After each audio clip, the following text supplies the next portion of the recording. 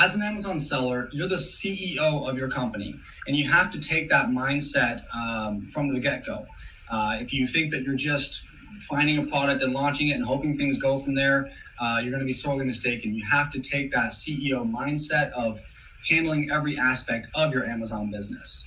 Um, you need to know how all the sections of your business work, what influences those sections, and how you can fix any problems that arise from the different areas of your business.